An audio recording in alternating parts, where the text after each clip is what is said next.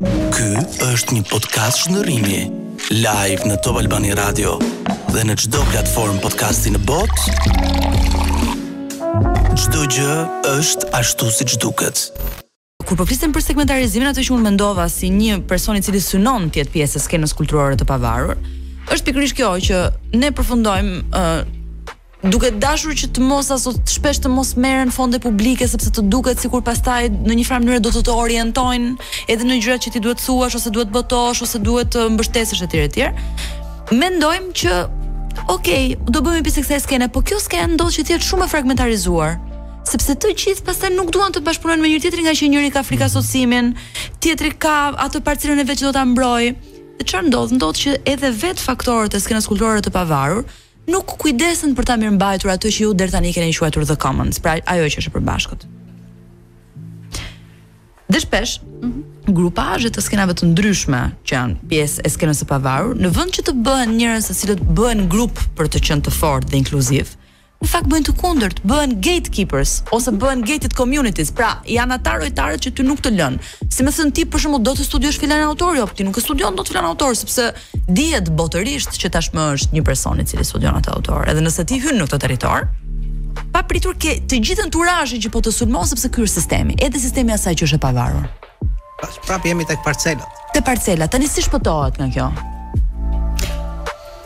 Ka shumë mekanizma për mendimin tim një nga ndërhyrjet kryesore që do të kishte të paktën për sa i përket uh, politikave kulturore, domethënë institucionet siç mund të jenë Ministria e Kulturës, marrim qendrën kombëtare të librit, um, institucionet e tjera që prekin kinematografinë, artet, um, më shumë marrëdhënie uh, me me skenën, në kuptimin që të dilet nga institucioni për ta njohur më mirë se çfarë ka terreni. ë uh, dhe jo me shpresën që ne do t'ju kalojmë juve fonde në qoftë se ju bini dakord për ta bërë fresk Por mjafton që ju atë gjë që e bëni e bëni më mirë se çdokush tjetër dhe ne u vëmë në dispozicion atë që kemi në në mundësi.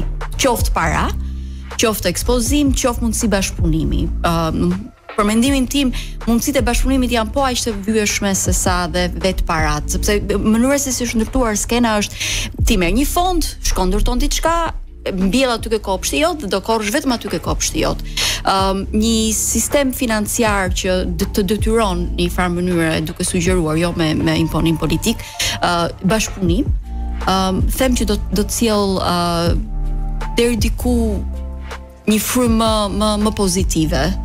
Ëm um, për të përdorur fjalën që urrej më shumë, po një një frymë që ëm um, më konstruktive. Më konstruktive, më bashkëpunuese.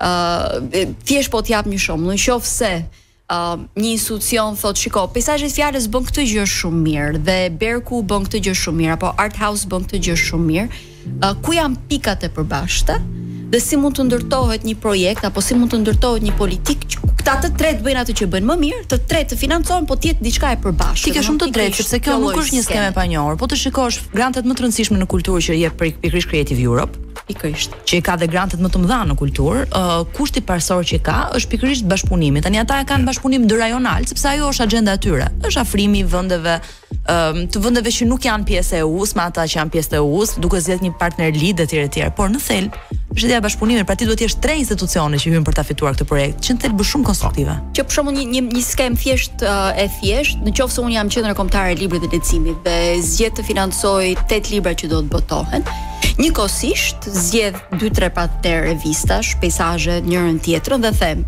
për këto 8 8 libra që do botohen, Dua që të keni një bashkëpunim me këtë revistë që të të bëjë një recension. Kështu që ti mirëmban dhe skenën e botimeve, por mirëmban dhe anën kritike të revistave, sepse peizazhet më vete mund ta bëjë këtë gjë dhe e ka bërë. Por ti jep një krah, jep një mundësi. Ti nuk është se i imponon që ti duhet të bësh patjetër recensë, por i krijon një mekanizëm që në qoftë se do të marrësh pjesë po, e bën. Dhe kështu edukon kulturën. Nga ana tjetër ka dhe diçka që dhe ato organizma, po themi, të pavarur të kulturës të cilët janë më mjeshtra ose e thënë ndryshe më specialistë për të fituar fonde, po. që sigurisht që janë disa që janë më të mirë se sa të tjerë po. për të aplikuar për fonde, sepse dhe fondet kanë një ekuacion të vetin, domethënë nuk është se nuk është se duhet të jesh shumë kreativ, por duhet të jesh i saktë. Ëm um, mbase duke përfshirë entitete më të vogla të sapolindura etj etj në projektet që bëjnë japin mm -hmm. një mhm. dorë dhe në fund çfarë bëjnë thjesht sa forcojnë skenën. Kjo është një gjë që në fund Unë realisht Ardiana dhe Lona realisht pyes veten ë uh, dhe realisht e besoj. A është vërtet që forcimi i skenës së pavarur kulturore është në njëjtën kohë forcimi i demokracisë vendore? Unë mendoj që është. Tom. Sepse është edukim. Tim të pluralizmit. Kisha një gjë për të po. shtuar, po. se kur flitet për financime publike. Mhm. Mm ne nuk kemi pasur deri tani.